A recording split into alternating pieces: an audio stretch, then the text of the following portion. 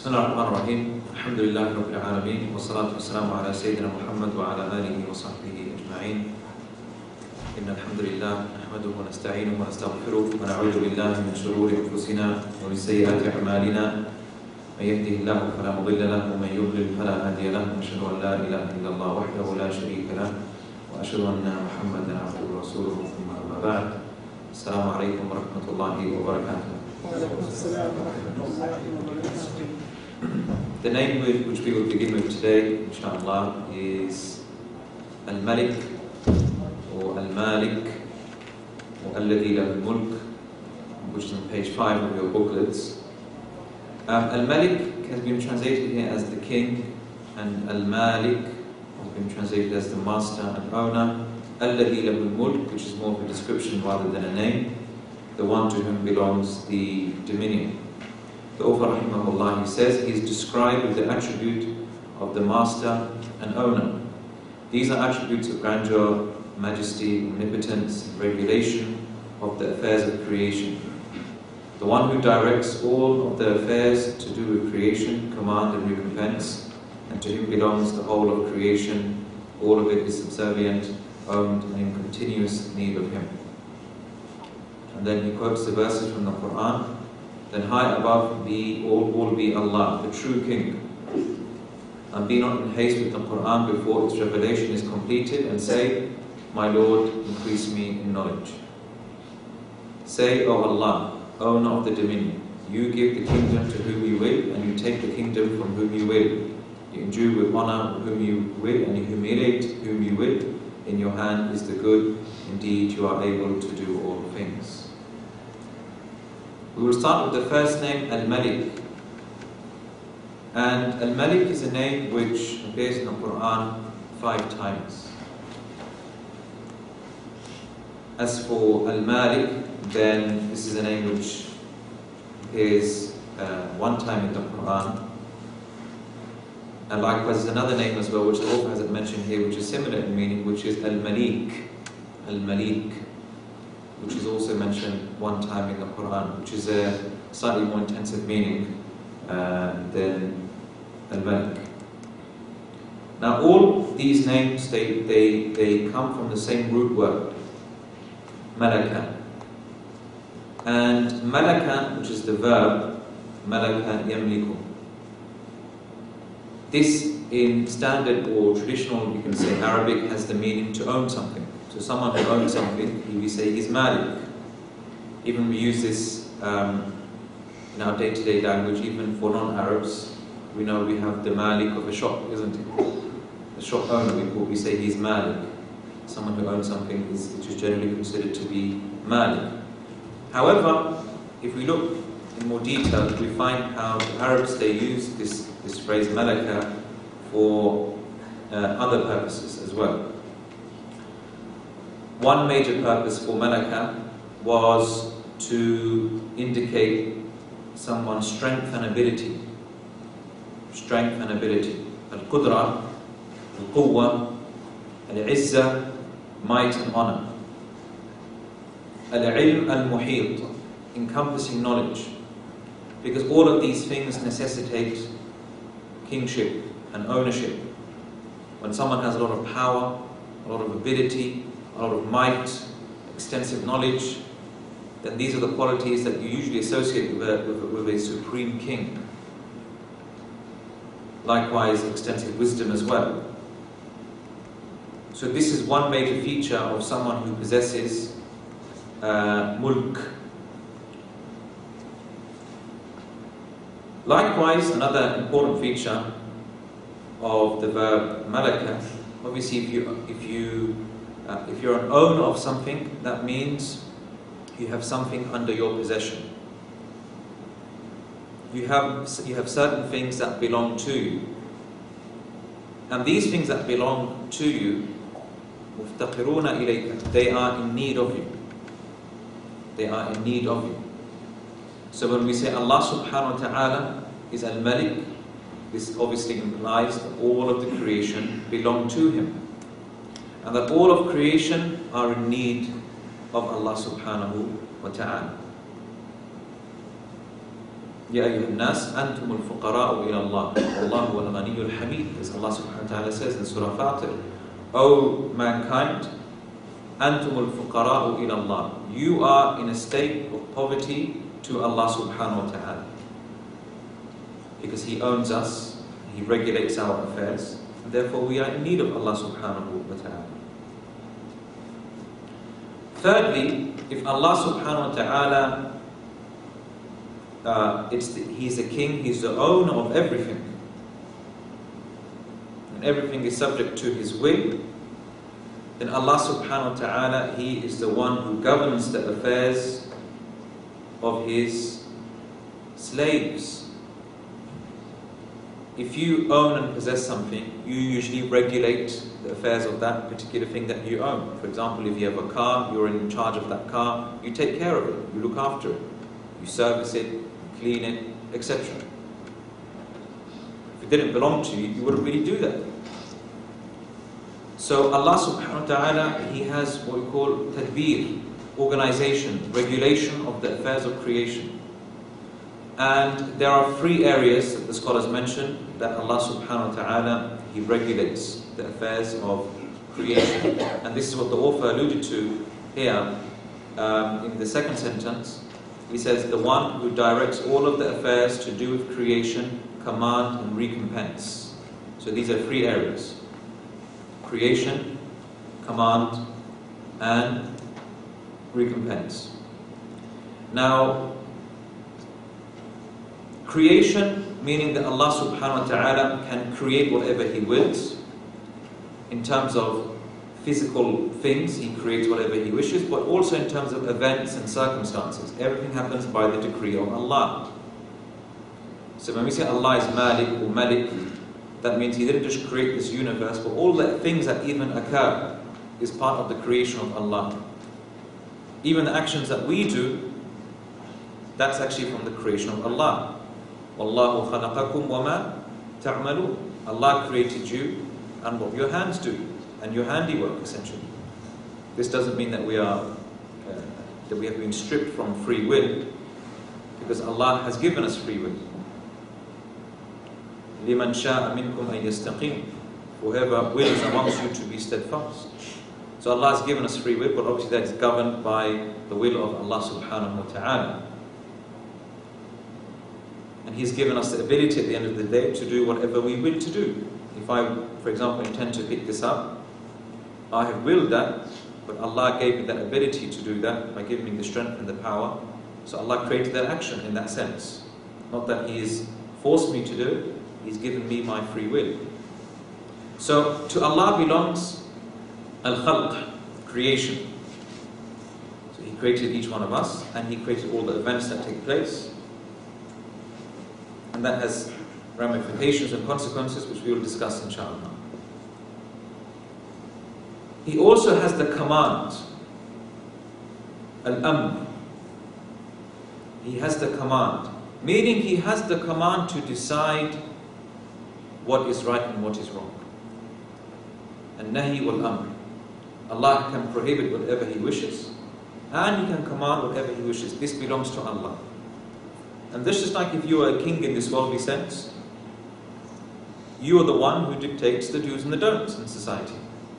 So when we say Allah is Malik or Malik, then to Him belongs Al-Hukum wal-Amr. To Him belongs the commandment to decide what to do and what not to do.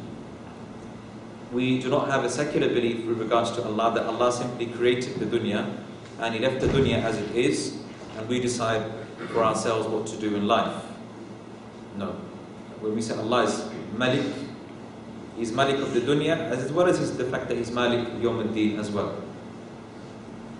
And thirdly, Allah's dominion, His kingship, also, this is the third area, recompense. Recompense in the hereafter, in particular. Allah decides, if He's a king, then He decides who goes to paradise and who goes to the hellfire. This is the decision of Allah subhanahu wa ta'ala. No one can contest that, no one can challenge the decision of Allah subhanahu wa ta'ala. That's why Allah is Malik Yawmiddin. The day He is the king and the master of this day of recompense. And this is an ayah we'll speak about in more detail later, inshallah ta'ala. So these are the three major areas where we can see the, the kingship of Allah subhanahu wa ta'ala What He has control over, what He sustains, and what He regulates. Rasulullah sallallahu alayhi wasallam described this in a, in a beautiful hadith. Rasulullah sallallahu alayhi wasallam, he said, يقبض الله تبارك وتعالى الأرض يوم القيامة that Allah subhanahu wa ta'ala, He will grasp the entire earth on the day of judgment with His right hand. وَيَطْوِ السَّمَاء بِيَمِينِهِ And He will fold up the heavens with His right hand and then He will say, أَنَا الْمَلِكُ أَيْنَ مُلُوكُ الْأَرْضِ أَيْنَ الْجَبَّارُونَ That I am the king, where are the kings of the earth? Where are those proud and haughty people? And as Abdullah ibn Umar mentioned now in one version of this hadith, that when Rasulullah was saying this hadith, his minbar, his pulpit was shaking.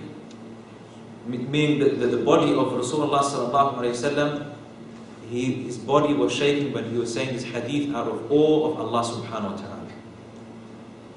And this is a, a very strong statement. Ana al-Malik, ayna muluk al-ard. I am the king. Where are the kings of the earth? Now, if we reflect upon this statement it will make us understand the essential difference between the mulk of Allah and the mulk of creation. The things that Allah is a king over and what we are kings and rulers over. Even though Allah subhanahu wa ta'ala has attributed mulk to creation, we can possess things, we have milk, we have ownership of certain things. But this ownership, number one, is temporal. It's not a permanent form of ownership. Because when we die, we cannot take our possessions with us. In fact, the two major forms of uh, wealth, al-dhahab wal-fidda in Arabic, gold and silver. Gold, we say in Arabic, is dhahab, and silver is fidda.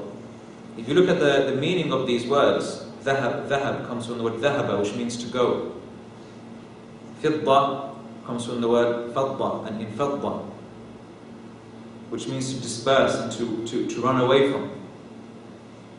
And why do they say this? Is because when you die, your dhahab is going to go away from, it, from you. يَذْهَبُ عَنْكَ And your silver is going to flee away from you. So whatever you possess in this dunya, you are not going to possess it on the day of judgment. يوم لا ينفع مال ولا بنون إلا من أتى الله بقلب سليم. On that day, neither wealth or children will avail you, will not help you, except to the one who came to Allah subhanahu wa ta'ala with a sound heart. So therefore, if we recognize that our possessions, we are not going to be possessing them forever, then our relationship with our possessions should reflect that. Our relationship with our wealth should reflect that. So if you knew something that you are going to use on a temporary basis, you're not going to be what? Attached to. You know, if you're borrowing something, for example, if you rented a car or you borrowed an item from someone, you know eventually you have to give it back. So you tell yourself, I can enjoy it while I, whilst I have it, but I shouldn't go, grow too attached to it. You shouldn't grow too attached to it. And this is a famous story Rasulullah mentioned in the Musnad of Imam Ahmad, rahimahullah. There was a very pious man from Bani Israel who was known for being a devout worshipper. And his wife passed away. And he was very fond of his wife, and he had great love for his wife. After she passed away, he began to, he went into seclusion, people didn't really see him, and people became, you know, obviously very concerned about his state, his emotional state, his mental state. And so what happened, a woman, she's an average woman, she came to this scholar and worshipper, and she had a question for him. And so she said to him, I have this, this necklace I borrowed from my, from my neighbor, and the time has come for me to give it back, but I don't want to give it back. I like it so much. Can I keep it? He said, No, of course you can't. You don't own it. You have to return it back to its rightful owner. And so she turned around to the Shaykh and said, You also need to return what was yours back to the rightful owner. And this is the meaning of the phrase, Inna lillahi wa inna ilayhi raji'un. To Allah we what? Belong. And to Him we shall return. So don't become so attached. Because this, these things that we possess, it's not really ours in the, in the first place. This is all the mulk of Allah subhanahu wa ta'ala. Even our bodies. That's why our bodies have rights over us. Why? Because Allah has stated that these are the rights, you know, of your body over you. Because Allah owns our bodies. إِنَّ اللَّهَ اشْتَرَى مِنَ الْمُؤْمِنِينَ أَنفُسَهُمْ Allah has purchased the souls of the believers. بِأَنَّ لَهُمُ الْجَنَّةِ Even though Allah subhanahu wa ta'ala owns us. That's the amazing thing. Even though Allah subhanahu wa ta'ala owns us. us. So this is an important thing we need to reflect on. That Allah, everything in this dunya, it belongs to Allah subhanahu wa ta'ala. It all belongs to Allah. So we have to be extremely careful with the way we treat this dominion of Allah subhanahu wa ta'ala. As soon as we disconnect our belief that Allah is Al-Malik and Al-Malik, this is when corruption spreads upon the earth and people view wealth as their own possession, they become attached to it, and this is when fasad, corruption spreads upon the earth. Because they they are the kings. And this is what Allah will say, no. Ana al-Malik, I am the king. Aina muluk al Where are the kings of the earth? Because they were not truly kings in that sense. Another important di- distinction and uh, difference between the kingship of Allah subhanahu wa ta'ala and that of man is that when a king from this worldly life, when he is to when he gives something away from his possessions, then naturally his possessions will decrease. But whatever Allah subhanahu wa ta'ala gives, that will not decrease from his dominion anything. And that's why Rasulullah said in the famous hadith, لو أن أولكم وآخركم وإنسكم وجنكم قاموا في صعيد واحد if the first of you and the last of you, the ins of you, the human of you and the jinn of you, all stood in one platform, and they were to ask me and Allah subhanahu wa ta'ala, Allah, He said, I will give everything, mas'alatahu, I will give everything that everyone wants and that will not decrease my dominion in anything. Illa, except, he gives an analogy. Illa kama yanqusul mikhyatu idha udkhila al-bahr. Except if a a needle, was to be placed into a sea, and what would you see? If you were to take this needle out, obviously the needle will be wet, isn't it? But has that really decreased the amount of water in the sea? No, not at all. So that's the difference between our ownership and the ownership of Allah subhanahu wa ta'ala. Now, another important feature about this kingship of Allah subhanahu wa ta'ala is that His is a kingship of mercy. Now, whenever you hear the phrase king, usually you associate with that, in many cases, negative connotations. It's like, for example, when you hear the word dictator do you think positive word, positive thoughts when you think of hear the word dictator? No. But when we say the word Malik and Malik, And that's why even Islamic terminology, it's not good to really you know, have these terms, Malik and in fact the Prophet ﷺ forbade people to use the term to refer to a human being as Malik al-Muluk, the king of kings, because Allah is Malik al-Muluk. We have Amir al-Mu'mineen, Khalifa, etc. But really to refer to a leader as a king, then this is setting yourself up to challenge Allah subhanahu wa ta'ala. It is not really befitting. Allah subhanahu wa ta'ala, He says in Surah Al-Furqan verse 26, Al-mulku yawma idhin al-haqqu lil-liman, lil-Rahman. The dominion on that day, in truth, will belong to who? Ar-Rahman, the most merciful. And so there's an association of rahmah, of mercy, with the dominion and the, the kingship of Allah subhanahu wa ta'ala. And that is to really soothe the feelings of the people that although we say Allah is Malik Yawmiddin, and He is Malik, this obviously will strike a lot of fear into the heart of the believer, but at the same time we should understand that His kingship it, and, and, and His ownership over us is that of mercy and justice. For Allah is not dhallam lil abid. Allah subhanahu wa ta'ala is not unjust to His servants. And that's why the scholars would say, Al-Malik لا يحسن ولا يكمل إلا مع الإحسان والرحمة. Kingship and being a leader over somebody, a person doesn't uh, reach the level of perfection in that unless he has, he shows kindness and mercy. And that's true, and that's the ideal leadership, not just in terms of the heavens and the earth, but even amongst human beings. As soon as you strip mercy and justice away from leadership, then this is when corruption spreads, this is when hatred develops between the leadership and those who are ruled over.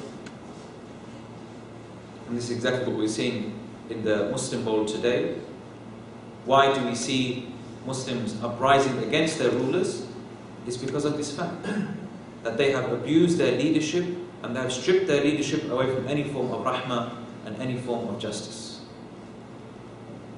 But this is why we say that the, the kingship of Allah subhanahu wa ta'ala is completely contrary uh, to that. We know the famous hadith about the seven people who will be under the shade of Allah on a day there is no shade except His shade. We know many of them. One in particular, though, is Al Imam Al Adil, the just ruler. Other ones we know, for example, as I mentioned, the, the young shab who was enticed by a woman, but he fears Allah. He said, I fear Allah.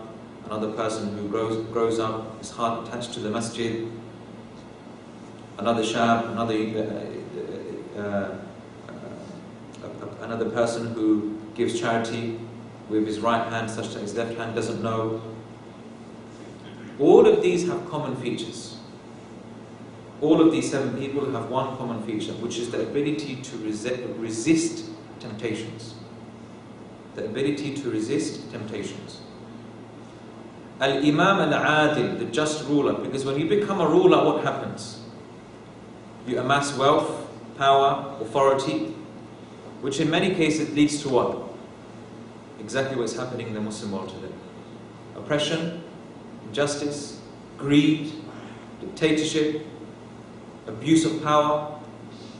It's very easy to fall into that. So whenever you possess something and own it, and you think it all belongs to you, that is all yours, that is what leads to corruption. But Allah reminds us, قُلِ اللَّهُمَّ مَالِكُ الْمُلْكِ Allah subhanahu This is a verse that He mentions in, in the book, uh, in chapter 3, verse 26. مَالِكُ الْمُلْكِ Say, O Allah, owner of the dominion, تُؤْتِ الْمُلْكَ مَنْ تَشَاءُ That you give the kingdom to whom you will. And you take the kingdom from who you will. And notice the word to take, تَنْزِعُ from the word naza'a, which literally means to, to take apart from the deep roots of something. وَالنَّازِعَاتِ غَرْقًا Naza'a, which you, you, you go deep into something and you essentially rip it out. Allah is the one who gave that to them. Allah is the one who gave that dominion to them and He's the one that can take it away. وَتِلْكَ الْأَيَّامُ mudawiluha bayna nas. Allah subhanahu wa ta'ala, these are the days that we alternate between the people. Sometimes we give people power and authority in the land. Sometimes, you know, we'll give them defeat. And so, you know, what we're seeing really today in the Muslim world, in Syria and other places, we really need to reflect on, on, on the, with regards to these incidents and, and see the dominion of Allah subhanahu wa ta'ala. And what happens when people try and take this dominion of Allah and think that it belongs to them. Mankind cannot cope with uh, this dunya unless he is regulated by the laws of Allah subhanahu wa ta'ala. If you're not regulated by the laws of Allah subhanahu wa ta'ala, there is what we call tughyan. Allah bil Allah subhanahu wa ta'ala says. Allah has created everything in a balance, so do not transgress that balance. And Islam, with its Sharia, teaches us this balance. It teaches us this balance. So, the fawaid, the benefits now, the benefits of knowing that Allah subhanahu wa ta'ala, uh, before we move on to do that actually, just uh, uh, a brief discussion with regards to the difference between Malik and Malik. What is the difference between Malik and Malik? Now, as you know, in certain qira'at, certain uh, um, recitations of the Quran, in Surah Al-Fatiha, uh, we recite in Hafs and Asim, and take Maliki Yawmiddin, but in other qira'at, like uh, Warsh, Maliki Yawmiddin. So instead of the alif, Maliki Yawmiddin. What's the difference? And which one is more effective? Which one is more ablaq? Which one is more effective? This is something that scholars have differed over. There is one view, as Imam al-Shawkani rahimahullah, he mentions that um, Malik, it's more encompassing and more uh, powerful. It's, it's a stronger way of expressing kingship. Why? Because he said, "Kullu malikin malikun." Every king is an owner of something. Every king is an owner of something. However, this can be disputed today because we have like the Queen of England, who doesn't really own that much in that sense, in comparison to the say the kings and the leaders of the past. But not every owner is a king. So every king is an owner, but not every owner is a king. And that's why, for example, we use the phrase Malik, you know, amongst ourselves. Or he's the Malik of the Dukkan, he's the owner of the of the shop. We're not saying he's the king of the shop, do we? We don't say that. So Malik is more intense in that sense. Malik is more intense in that sense. Others said no, the other way around. Malik, because it's very possible, as we said, it's possible that you can have a, a, a, a, a Malik, but he doesn't really possess anything. He's a very poor Malik. A bit like the Queen today. She doesn't really have, have that much power and authority. But Malik definitely means you own something. Malik definitely means you own something because the active participle of the verb Malik, which definitely means you own and possess something. So just in terms of the difference between the two, uh, and something to reflect on. Okay, benefits of knowing that Allah subhanahu wa ta'ala is al-Malik or al-Malik. Firstly, it necessitates that without a shadow of a doubt that we worship Him. That we worship Allah subhanahu wa ta'ala. Because if Allah surely owns everything, this will necessitate us to worshipping Him. As Allah mentions in Surah Al-Ma'idah, verse 76, قل أتعبدون من دون الله ما لا يملك لكم ضرا ولا نفعا والله السميع العليم Say, do you worship other than Allah, that which does not possess for you any harm or benefit? لا يملك, it doesn't possess, doesn't own any way of benefiting you or harming you. والله السميع العليم, whilst Allah is the all hearing and the all knowing. ويعبدون من دون الله ما لا يملك لهم رزقا من السماوات والأرض شيئا Allah subhanahu wa ta'ala says in Nahl verse 73, and they worship other than Allah that which does not possess for them any form of provisions from the heavens. Allah owns all of that. So surely you should turn to Allah subhanahu wa ta'ala. Also, another important benefit, knowing that Allah subhanahu wa ta'ala, He is the king of, uh, He is the king and the owner, this has a tremendous effect on our hearts. From the a'mal al-qulub, actions of the heart, this necessitates that we definitely, we, we should fear Allah subhanahu wa ta'ala, we should rely upon Allah subhanahu wa ta'ala, we should have hope in Allah subhanahu wa ta'ala, because He is the one who truly owns. So you don't just depend upon your boss to provide your wages. Because you know Allah at the end of the day owns all of that. So you have reliance upon Allah subhanahu wa ta'ala. He is al-Mal. And we need to remember this, for example, the Muslims, what they're going through in Syria now, Alhamdulillah, I think we can see this amongst the, the people there, that they realize now that they don't need to depend upon anybody else. They just need Allah subhanahu wa ta'ala. Allah is the one who gives power and authority in the earth. So if you want to seek change, seek it from Allah subhanahu wa ta'ala. And that's why they, they've shown clips of just go, you know, people going to an average woman. They say, we don't need America, we don't need England. We have Allah subhanahu wa ta'ala. He is the one who gives kingdom, the kingdom to whoever He wishes. He is the one who removes it. And we need to remember, this is a very powerful verse, which really I wanted to spend the whole lesson just looking at this verse from Surah Al Imran, especially in relation to what's happening today. But I thought, you know, due to time and you know, we've already missed a lesson. But this is really a very big deep verse and a lot of things that we can gather from it. Inshallah, one day maybe Allah give us tawfiq to discuss this in more detail, inshallah. Another important benefit knowing that Allah subhanahu wa ta'ala, He is Al-Malik and Al-Malik, is that all deci- decisions in life should refer back to Allah subhanahu wa ta'ala, whether in the dunya or the akhirah. Decisions meaning al-hukum, ruling. If Allah is al-Malik and the Malik, then He should decide for us what is right and wrong. We do not leave that to our own intellects and our own minds. And likewise, in addition to that, the fate of what will happen to people on the day of judgment. That's why we say Malik yawmiddin. He is the owner and the king of the day of recompense. Malik yawmiddin. Ad-din comes from the verb dana, which means to repay back.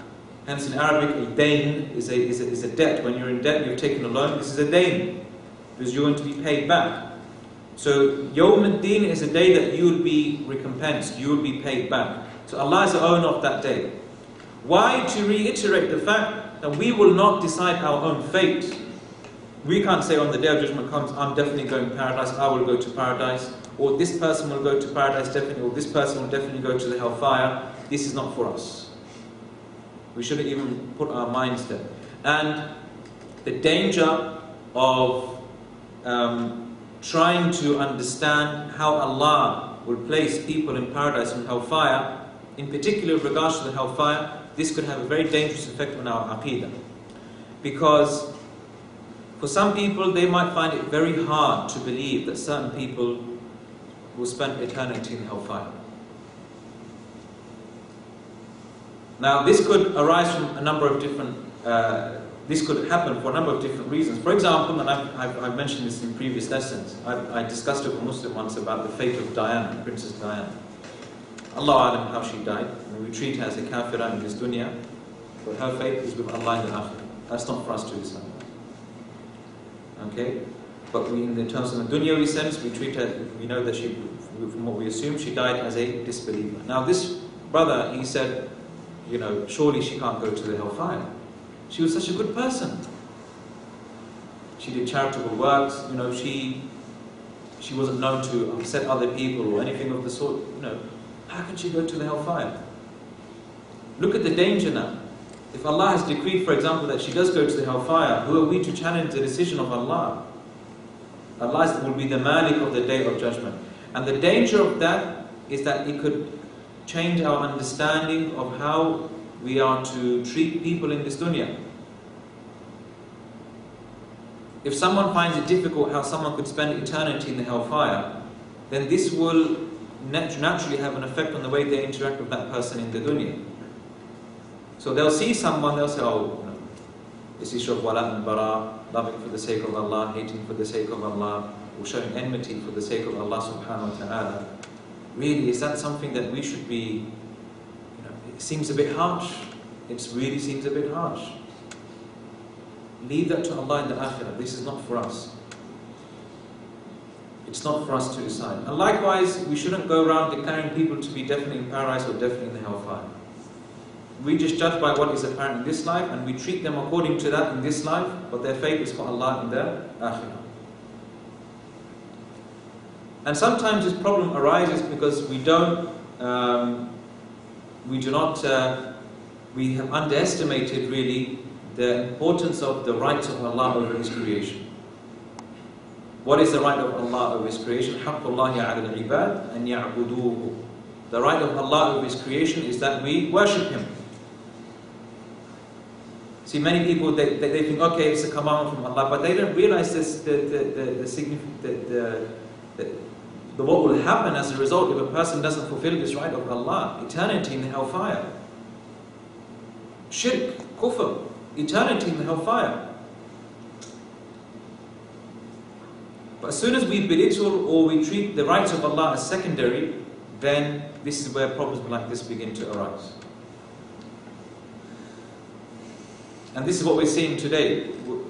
We live in a, in, a society, in a civilization, where they have essentially given the, the rights of human beings a divine status, above the status of Allah subhanahu wa ta'ala. So if there's ever a conflict between the right of a human being, what they understand to be a right of, of a human being, and that conflicts with the right of Allah, they will throw the right of Allah in the bin. Billah. So, for example, if they say, for example, according to the, the, the, the rules of the, the, the, human rights that was you know, designed by the United Nations, everyone has freedom of belief. And to a certain degree, that falls within teachings of Islam. But Rasulullah said, Man dinahu For example, whoever changes his religion, then kill him. Meaning if a Muslim changes his religion, then the law of apostasy must be applied on that person. But obviously, according to the, the laws of the United Nations and the Declaration of Human Rights, this is not acceptable. But whose right is greater? The right of Allah or the right of the human being? The right of Allah subhanahu wa ta'ala. Allah is al-Malik. He's the one who decides what is right and wrong in the dunya, and He is the, the one who will decide the fate of people in al-akhirah. And finally, it increases the servant's desire uh, for what is with Allah subhanahu wa ta'ala. In the sense that if a person needs something in life, then he turns to Allah directly. He turns to Allah subhanahu wa ta'ala directly. And he doesn't lower himself to the level where he starts begging other people and he thinks that provisions lie in the hands of other people.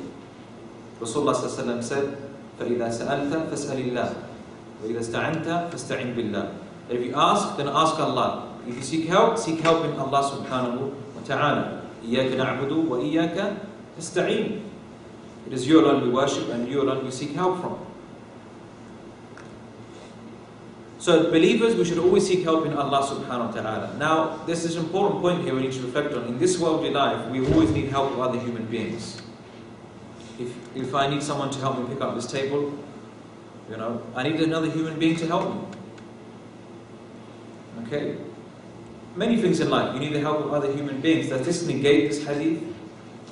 You know, for example, if, if, when it comes to picking up this table, should, should I say to myself, no, it's wrong to ask a human being? So let me just ask Allah, oh Allah, help me pick up this table. How do we understand that in light of this hadith? We say that when you ask a human being to help you, realize that that human being can only help you if Allah willed it. So when you ask a human being, essentially who are you asking? Allah subhanahu wa ta'ala. Because you're, you're intending that this person can only help me by the decree of Allah subhanahu wa ta'ala. So you're still seeking the help of Allah subhanahu wa ta'ala, or at least you should be. Now, brothers and sisters, so far now we have covered the names Allah, Ar-Rahman, Ar-Rahim, Malik and Malik. And all of these names appear at the beginning of Surah Al-Fatiha. Alhamdulillahi Rabbil Alamin. Ar-Rahman, Ar-Rahim. Maliki Yawmiddin. And obviously Allah as well. Alhamdulillah. So five names. These names, as some scholars have said in this surah, there is a particular order that has been observed in these names. Alhamdulillah, all praise is due to Allah. Allah is the creator. Alhamdulillah Rabbil Alameen. Rabbil Alameen. Allah, after Allah subhanahu wa ta'ala created us, what did He do? He, not, he did He leave creation to, to be as it, by itself and He didn't take any part with creation? No. He nurtures the creation, He nurtures the creation, sustains creation. So He's Rabb. After creating it, He's sustaining it providing people with all of their things. So Allah is Rabbul Alameen. Alhamdulillah Rabbil Alameen. Ar-Rahman Ar-Rahim. After Allah He created and He nurtured, then what? What was the purpose of His creation? That they worship Allah subhanahu wa ta'ala. So Allah, through His mercy, He sent down prophets and messengers so that they could be guided to the true path. He's Rahman. So after Allah mentions Rabb al-Alameen, He mentioned Ar-Rahman, Ar-Rahim. And He's Rahim, in particular to who? To the believers. So He's Rahman in the sense that He's given uh, revelation to everyone, Muslims and non-Muslims, but He's Rahim to the believers and He shows special care to those who eventually end up accepting this faith. And He shows them a high degree of mercy which we spoke about last week. So after Allah, He created us, He nurtured us, He showered us with His mercy by sending us revelation, and He was merciful more towards the believers, and He was merciful to them by forgiving them of their sins as well. What comes next? He is the owner of the day of recompense. He is the owner of that day of recompense. This is the day that Allah He will reward the believers and He will punish those who disbelieve. This is the order of Al-Fatiha.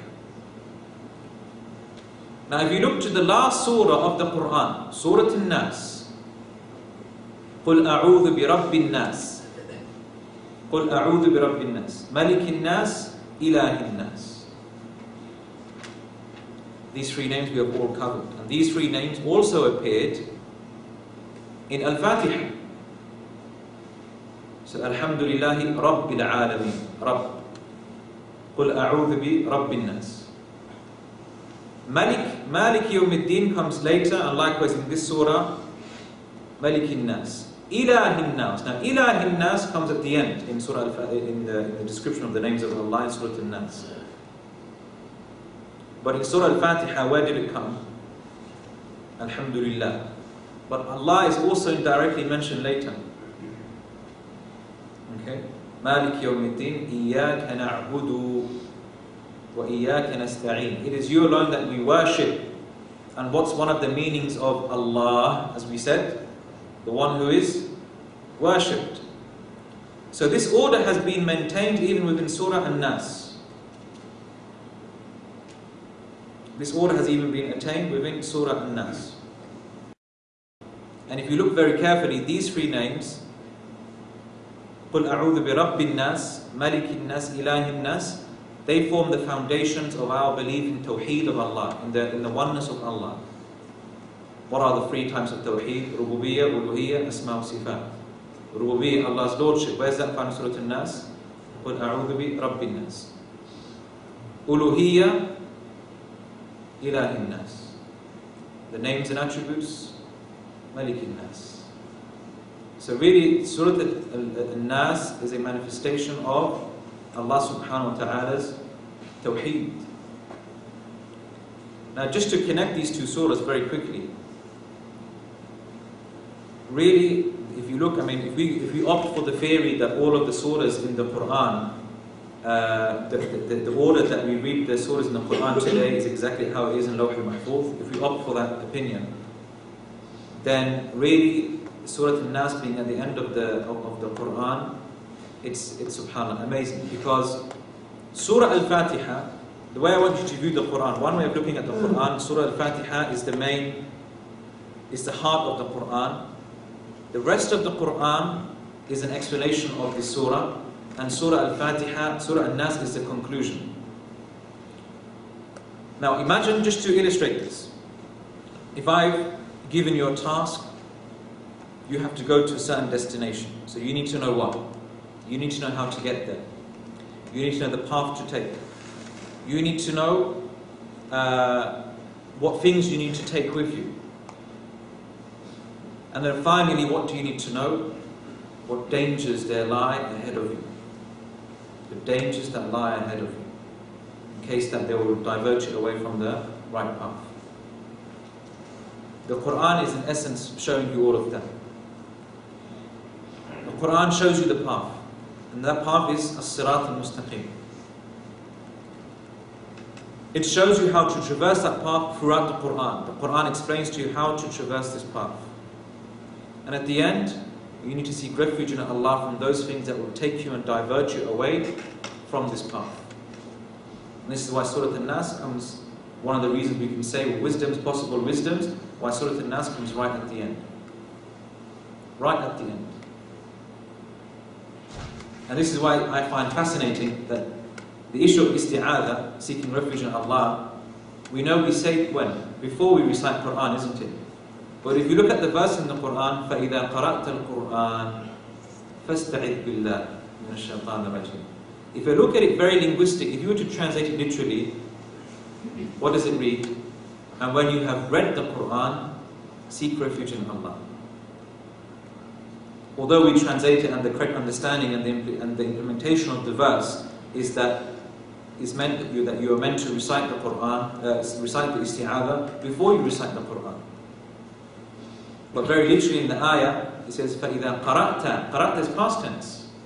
If you have read the Quran, seek refuge in Allah. This is to show you that the act of isti'adha, seeking refuge, doesn't just occur at the beginning, but occurs before the action, during the action, and after the action. Because you can seek refuge in Allah before you do the action, but whilst you're doing the action, believe me, shaitan is going to try and divert you. There's a shaitan that's going to try and divert you within your salah. And after you finish your salah, shaitan's going to come back to you. What's he going to say? He's going to try and put pride in your heart. Oh, you prayed an amazing prayer. So much khushu'. Okay? Al-ujb, he's going to try and put that in your heart. You know, Imam Ahmad, before he passed away, shaitan came to him when he was going for the sakarat al-maut. And he said, Futtani ya Ahmad. He was biting his fingers. He said, Futtani ya Ahmad. You, you passed, you know, um, you know, you've managed to escape, escape my grip. And he said, La, not yet, not yet. Only when my soul leaves my body, that's when I have defeated you. Imam Ahmad, look at his fiqh, his understanding of the religion, he realized shaitan was trying to deceive him even in this moment. He was trying to put in his heart pride and arrogance. Imagine you saw that, you're dying and you think, you know, Alhamdulillah, I've defeated the shaitan. SubhanAllah, no. إِنَّهُ لَكُمْ عَدُوٌ مُبِينٌ He is a manifest enemy to you. So the point is that I just wanted to and reflect over these names, these important names that we have discussed. And there are so many other, subhanAllah, any jewels of knowledge that we could really, um, you know, derive uh, from these beautiful names and, and uh, uh, places that they're mentioned in the Quran. But uh, inshallah, we'll take a break now and we'll resume after a few minutes. Bismillahir-Rahmanir-Rahim. Alhamdulillah. Salatu wassalamu ala Rasulillah. Just uh, one small fa'idah and benefit on uh, the ayah that they quoted in um, page 5. Um, the high above all be Allah, the true King. Um, the dua that mentions at the end, وَقُلْ رَبِّي زِدْنِي عِلْمًا uh, This is a dua I'm sure we all were taught when we were young. Our parents told us to say it every time we enter the exam room. You know. Um, وَقُلْ رَبِّي زِدْنِي عِلْمًا It's a very beneficial dua. This, this is a very, very unique dua. In fact, there's no other dua like it in the Quran. Uh, when you ask Allah subhanahu wa ta'ala for things in the Quran, you know, there are many du'as that, you know, Rabbana atina, O Allah, give us. You know, Rabba hablana, O Allah, bestow unto us. O Allah, forgive us. O Allah, grant us, etc. O Allah, enter us, adkhilna. So there are many supplications like this. But this is the only supplication in the Quran that asks for an increase in something. Rabbi zidni.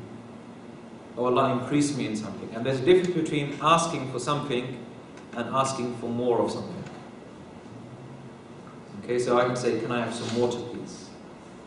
Okay, well, can I have some more water? Okay, that, that increase indicates that the person has a very strong and fervent desire for that thing at hand. He didn't say, Oh Allah, give me knowledge. Increase me in knowledge.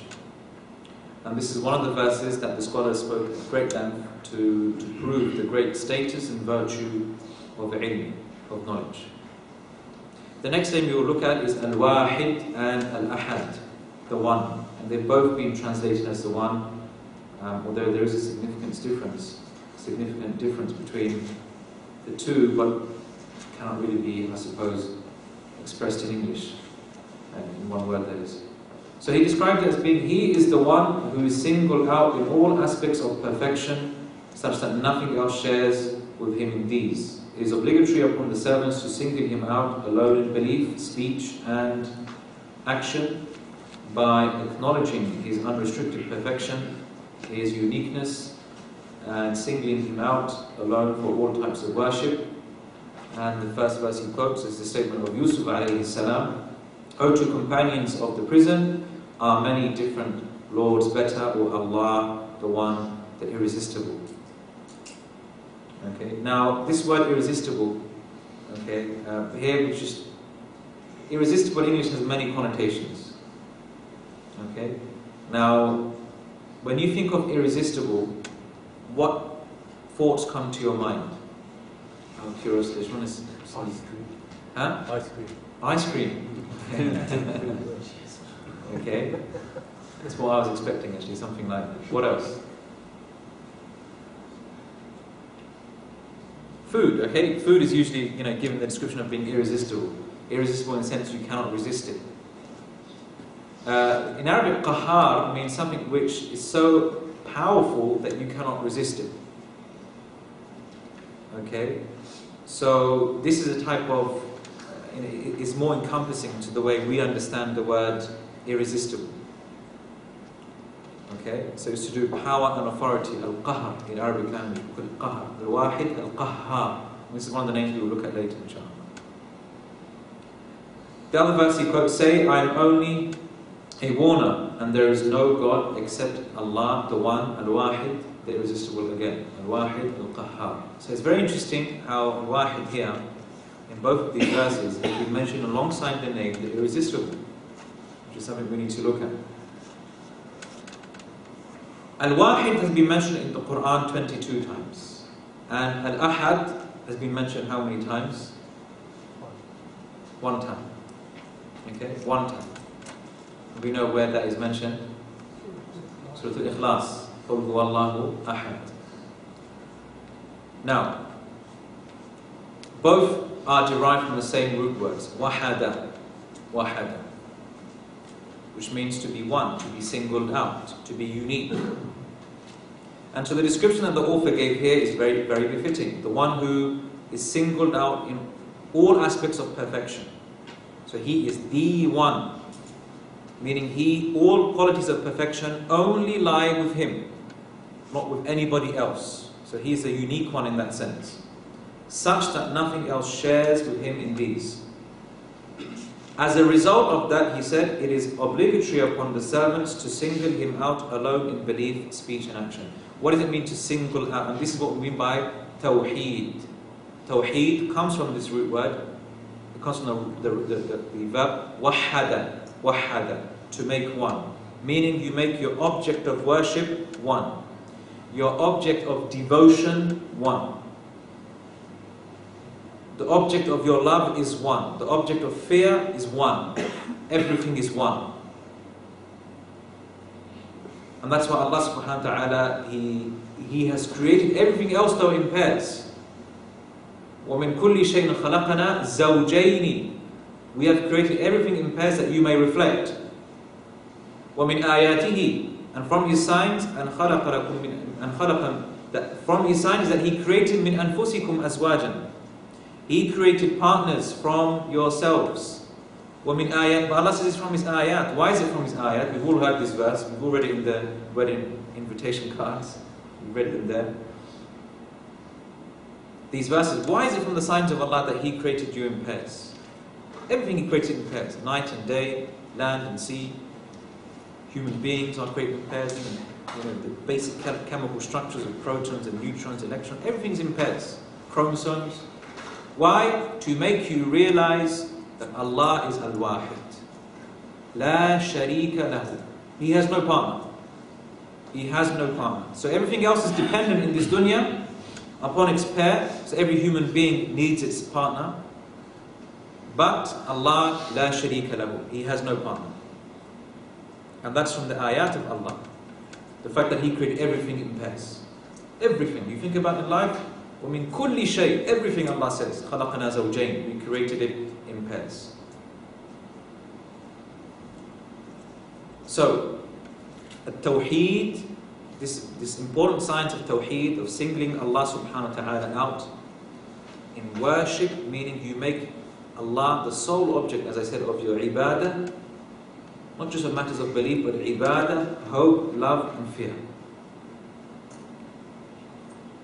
Now, what is the difference though between um, the difference between al-wahid and al-ahad? To understand this, we need to understand a bit of Arabic language. Now, if I say one student came, how do we say that? Anyone speak Arabic? جاء طالب واحد. Okay? Common mistake. جاء واحد طالب. Yeah, this is a mistake. Yeah? جاء طالب واحد. Okay, even Arabs make this mistake. Um, جاء طالب واحد. We don't say what جاء طالب أحد. Okay? Now, if I want to say there is no one in the house, how do we say that? In Arabic, anyone?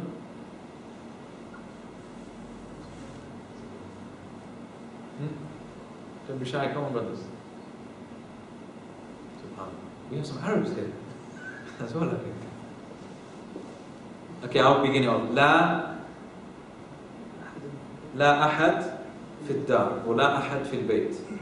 There is no ahad, there is no one in the house. Now, what's the difference between these two statements? جاء طالب واحد, is it affirming something or negating something? Affirming. لا أحد في الدار, there is no one in the house, affirming or negating? Negating. Now look at this. In Surah Al-Ikhlas, Allah subhanahu wa ta'ala says, قُلْ هُوَ اللَّهُ أَحَدٌ Say, Allah is the one. Is that in the affirmative or is that negating? It's doing both. And this is the beauty of it. This is why English, sorry, it's a miskin language, it's a very poor language, it cannot accommodate the, the meanings of the Quran. It's affirming because we are affirming oneness, but is negating what? Shirk. Why was the surah revealed? The surah was revealed because some people came to Rasulullah and they said, Tell me about your Lord. Is he made of gold or copper? What's his lineage? Where does he come from? they were asking these questions. So Allah says, قُلْ هُوَ اللَّهُ أَحَدٌ Allah is the one, meaning all of that you said, that you just mentioned is all batil. I've negated all of that. Subhanallah. Beautiful, amazing, this Quran. And he, you know, in one word, you've, you've achieved more than one meaning. And this is very unique. I mean, you don't usually find this in normal Arabic speech. So as I said, use ahad in the negative to negate something. But Allah has used it in the affirmative to establish something, but at the same time to negate something. So this is an extremely powerful way. This surah, and this is why this surah is considered to be a third of the Quran is a very powerful way to establish the Tawheed of Allah. Because the oneness of Allah is appreciated when you negate all uh, imperfections from Allah and at the same time you affirm all qualities of perfection. That's why Allah says, لَيْسَ كَمِثْلِهِ شَيْءٍ There is nothing like unto Allah, وَهُوَ السَّمِيعُ See that He is the all hearing and the all seeing. So Allah has negated, but what has He done straight after that? He has affirmed. La ilaha, negation, illallah, affirmation. That's the way of the believer.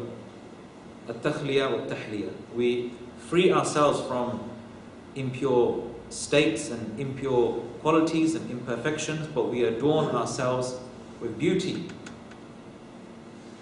Okay, this is the, the, the, this is a common theme you'll find within the religion. In order to pray, what do you need to do first? Before you pray, you need to what? Purify yourself.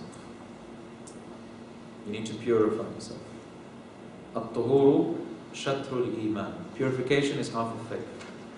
And that's why some scholars interpreted this to mean that freeing yourself from shirk and kufr is half of faith. So for a believer, if you truly want to understand the essence of tawheed, what must you study and understand? The essence of shirk. And that's why it's very important that we equip ourselves with knowledge of what is shirk so that we are careful not to fall into it. Now, many Muslims today, when they look at matters of shirk, they say, well, these are superstitious things, they don't really occur in our communities. Um, I would even you know, challenge that. Okay, you know, grave worshipping. This doesn't really take place. This only takes place in villages, maybe, and we live in modern societies and what have you. This is a wrong attitude. Really, we have to always, because if generations go on like that, then what will happen? People will become ignorant of basic aspects of shirk. There's one brother, he came up to me and he tried to debate with me about, you know, why we need to establish Khilafah. I saw him a few minutes later reading his star signs. I mean, you know, and that's because why we belittle these things.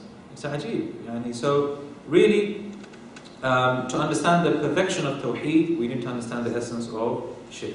And this is an important point. So this is the difference between wahid and ahad. Wahid is used in the affirmative, and ahad is used to establish the oneness of Allah, but at the same time negating what? Similar, any form of similarities or uh, any form of imperfection whatsoever. And that's what we see in the surah, Qul Allahu Ahad, it affirms and negates. Allahu Samad, and Samad is a name, inshallah, we might discuss today. Okay? Lam yalid wa lam. Okay? He did not beget nor was he begotten. He didn't give birth nor was he born. So again, affirmation and then negation. And really, Allah Samad, Lam Yalid wa Lam Yulad, is a type of, is, is in essence an explanation to what an Ahad means. If he is Samad, which we will learn is self sufficient, then surely you must direct your worship to, towards him. And he is Ahad because Lam Yalid wa Lam Yulad. Now, here is an important point we really need to reflect over. I said Al Wahid has been mentioned in the Quran 22 times, Al Ahad has been mentioned one time in the Quran. This establishes, this ratio is very important. This ratio uh, establishes that Islam and the Quran as a whole pays more emphasis to establish the qualities of Allah and the attributes of Allah rather than negating um, his imperfect, the, the imperfections that people ascribe to him. Okay? If you look at the Quran, it's full of a description of what Allah subhanahu and who He is. Allahu la ilaha illa al-hayyul qayyum. And then there's negation then. But in most cases you'll find in the Quran is what? Affirming the qualities of Allah. There are definitely verses that negate things from Allah. لا تأخذه سنة ولا نوم. Okay? He is not overtaken by sleep nor slumber. ليس كمثله شيء. There is nothing like unto Allah subhanahu wa ta'ala. Yes, that's very, very true. but there's more emphasis in the Quran on affirming the qualities of Allah. And this is, this is the correct adab we need to approach with regards to Allah. For example, if you went to a king and he said, Oh Highness, you do not smell, you are not ugly, you are not miserly, you are not poor, you are not greedy. Do you think that king's going to like it? No. How do you praise? You don't praise by simply negating. Okay? Now, if you said, O king, you are not miserly, rather you are the all generous. Now that's different. You're negating with the intention of what? To affirm the opposite. And that's a very important principle. Whenever you study the name and attributes of Allah, when Allah negates something from Himself, the idea is to affirm the what? Opposite. Now, many people unfortunately have maybe bypassed this principle, and so when they describe Allah, they describe Allah with those sort of qualities. Allah is in no place, there's no direction. Allah cannot, has no color or taste or smell or you know, these descriptions. And this, these descriptions we don't find in the Quran and Sunnah. To the extent that people end up not knowing what they're worshipping because they've negated everything, so who are they worshipping? And that's why people who've fallen into this, they have run away from anthropomorphism, which is to liken Allah to His creation, and they've fallen into another form of tashbih, anthropomorphism, which is to liken Allah to non-existence. And both are wrong. Both are wrong. Muslims take the middle path. We take the middle path. We affirm what Allah affirms for Himself, and we negate what Allah negates, and we leave it as that.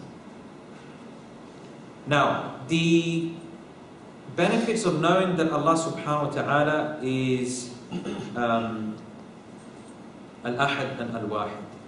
I believe there's no other beautiful way than to explain the benefit of knowing this other than what Yusuf alayhi salam said to his two companions in the prison. In that verse that he quotes, O two companions of the prison, are many different lords better or Allah the one the irresistible?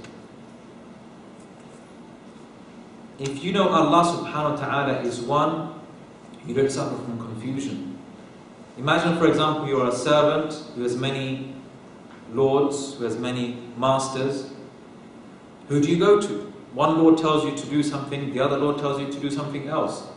You're running around like a headless chicken with, with, with no sense of direction. This really, I believe, describes the spiritual state of many of us. Now, although we say we worship one God, Although we say we have one ilah, we have one Lord, our hearts though reflect otherwise. Have we seen the one who took his desires as his Lord? Allah says this. Have you seen the one who took his desires as his Lord? So there's this conflict between what we believe but what is within our hearts. We say we worship Allah, we want to live our life as Muslims, but there's many of us worshipping desires and wealth. Our life revolves around wealth. If your life revolves around wealth, you have become an abd to the dinar. You have become a slave to money. It's as simple as that. Your life is meant to revolve around Allah. Your life revolves around Allah, and that's the beautiful thing that you find, you know. And this is something that exists in all universe. We see the planets, they orbit around the sun. We make tawaf, we make tawaf around the Kaaba. And this is to indicate that really our hearts, as some scholars have said, one of the one of the wisdom, possible wisdoms, is that this is to reflect how we want to make our lives revolve around Allah subhanahu wa ta'ala. Revolve around Islam. Al-Wahid, the one. When you make tawaf, you make tawaf around one building, not around two or three. So your heart can't be in with Allah and then your heart be with somebody else at another time. No, it needs to be de devoted to Al-Wahid and Al-Ahad. And this is the essence of Tawheed, brothers and sisters. It's not just simply knowing the categorizations of different types of Tawheed and that you need to bow and prostrate to Allah only. No. Tawheed is devoting your life to the One. That's the essence of Tawheed. And that's what we need to propagate. And that's the type of tawheed that really needs to be propagated and passed on to the people. We need to devote our lives to Allah. You can be, you can have the most sound understanding of Tawheed, Rububiyyah, Uluhiyyah, Asma' wa Sifat. You can know everything about Ta'weel, Tashbih, and you can know all of these things, but if your life doesn't revolve around Allah, you haven't truly epitomized the correct understanding of Tawheed. So we need to try and move away just look, looking at Tawheed from an academic perspective and realize what the essence of Tawheed really means. To devote your life to Al-Wahid and Al-Ahad. So this is a very important benefit of knowing that Allah subhanahu wa ta'ala is Wahid and Al-Ahad. And let's move on, inshallah, to the, to the next name, As-Samad, the self-sufficient. Uh, uh, before, we, before we actually do that, um, a few other uh, points I want to mention. Um, obviously, if we know that Allah is al-Wahid and al this negates there being any form of similarity between Allah and creation. That's an important point. The fact that He deserves to be worshipped. Uh, there is a negation of any form of takyif, ascribing mannerisms to the attributes of Allah. We negate any form of imperfections, as we mentioned.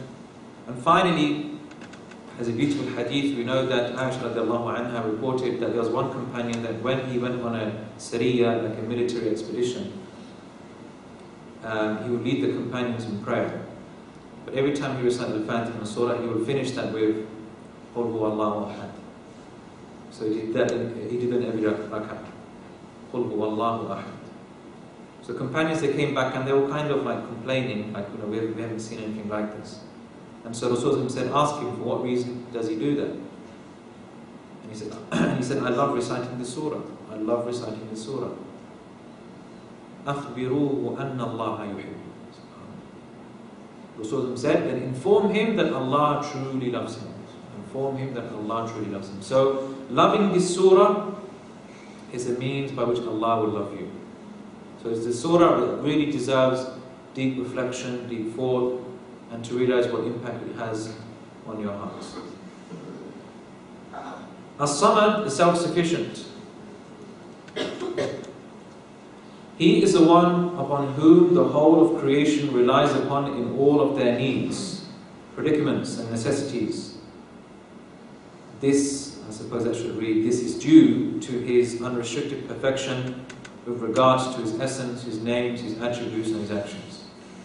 Say He is Allah the One, Allah the Self Sufficient, Allah the Samad. Now, as-samad is one of those words which have been described in so many different ways. If you look in books of tafsir, when they explain the surah, there are a number of different explanations.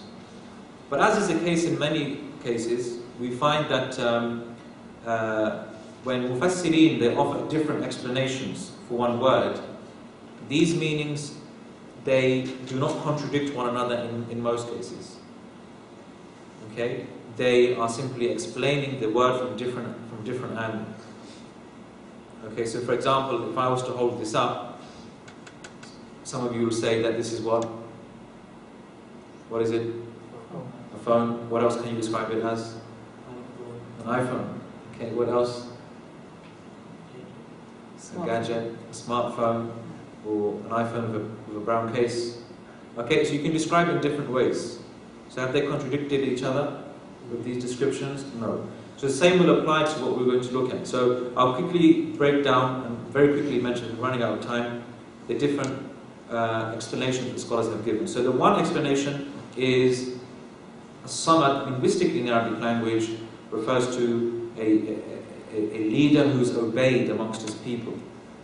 السيد المطاع السيد المطاع the one who is obeyed amongst his people وَالَّذِي كَمُلَتْ سُؤْدَتُهُ the one whose sovereignty has reached the pinnacle also it was said that الَّذِي لَا جَوْفَ لَهُ the one who has no internal cavity the one who has no internal cavity now you might think well that's a massive difference to describe him as being a Sayyid who is obeyed and someone who has no internal cavity? Is there any relationship between the two? Let's, let us move on. Some said he is the one who doesn't eat and drink. The one who doesn't eat and drink. Others describe him as being the one who, and this is the, the most common explanation that you'll find, الذي يصمد إليه يصمد إليه في الحوائج. And he is the one who people turn to for to fulfill their needs. But he is the one who does not need anything else. So, so far we've given how many meanings? It says, As-Sayyid al the one who's obeyed, who, whose sovereignty has reached the pinnacle. Secondly, the one who um, has no internal cavity, doesn't eat and drink, and the one who, the one who people turn to to fulfill their needs, whilst he has no needs for anybody else. All of these refer to the one fundamental meaning, which is what? That Allah is in need of no one, but everyone is in need of Allah. Allah is in need of no one, but we are all in need of Allah. Let's show this. So, As-Sayyid al-Muta', the one who is obeyed. The one who is obeyed amongst his people, does he need to go to anybody? Does he need to um, respond to any, anybody in the sense that he has to he has someone to answer to? No. People come to him. People come to him for wealth, distribution of wealth, etc. The one who has no internal cavity. Now we have internal cavities, isn't it? We have like the brain, we have the, the lungs, we have the stomach. And what are the functions of these organs? To help us live, isn't it? The Stomach. The stomach needs what? Food. Our lungs, they need air. Okay? We need all, that's why we have these internal cavities, because we are in need of them. So someone who has no internal cavities suggests what? He has no needs. Okay, he has no needs. And likewise, the one who doesn't eat and drink, he, Allah he, he has no need to eat and drink because he's in no need of that.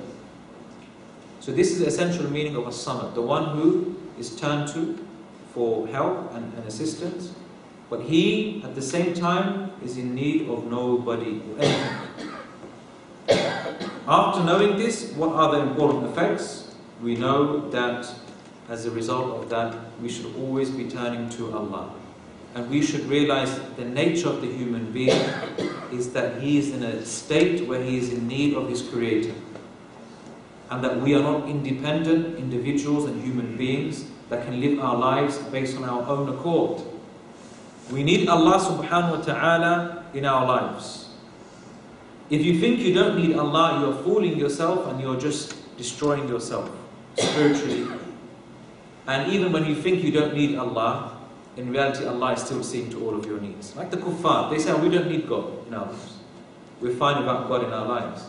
But God is already in your life. He's providing for you. He's providing for you. He's taking care of you. So you cannot take God out of your life as they think. He's a part of your life whether you recognize it or not.